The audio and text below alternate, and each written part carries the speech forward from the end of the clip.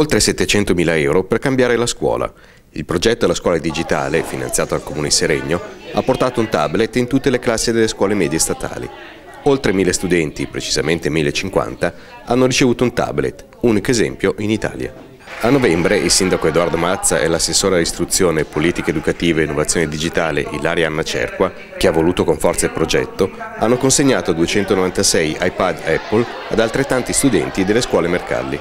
Il finanziamento per i tablet è sostenuto dall'assessorato all'istruzione, politica educativa e innovazione digitale nell'ambito dell'azione numero 4 del progetto La scuola digitale in due anni scolastici, 2014-2015 e 2015-2016, l'amministrazione Mazza ha messo sul piatto 783.000 euro.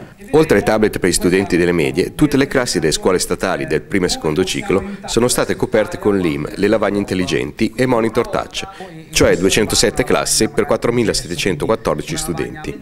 E ancora wifi, cablaggi, fibra e connettività sono stati portati in tutti gli istituti. Partito con l'anno scolastico 2014-2015, il progetto si sviluppa in 16 diverse azioni, dal cablaggio degli edifici scolastici al wifi nelle scuole, dalla banda ultralarga all'uso sicuro del web con percorsi di formazione per studenti e docenti per arginare il fenomeno del cyberbullismo.